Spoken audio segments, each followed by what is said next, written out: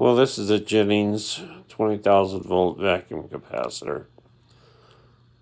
And if you knew what I had to do in order to get this thing built, uh, you would appreciate it a lot more. Let's see, where am I? Doing a little math in my head. Almost 15 years of sobriety. No, over 15 years of sobriety. And this this one was just about the end of it. We've been working on this thing, and everything that could go wrong with this thing has gone wrong. So trust me when I tell you that this thing is, is going to work. It's going to work because we have redone everything in this thing five times. So everything is new. New, new, new, new, new. And then new again.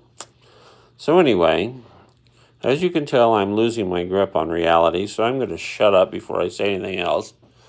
Turn some lights on, see our website, and hopefully you will buy this. This, uh, it has uranium glass in the ends of it. There you go. There's our website. And uh, anyway, take the, it has uh, 10 RGBs if you count the ones inside because there's eight on the back and then there's two inside, one on each end.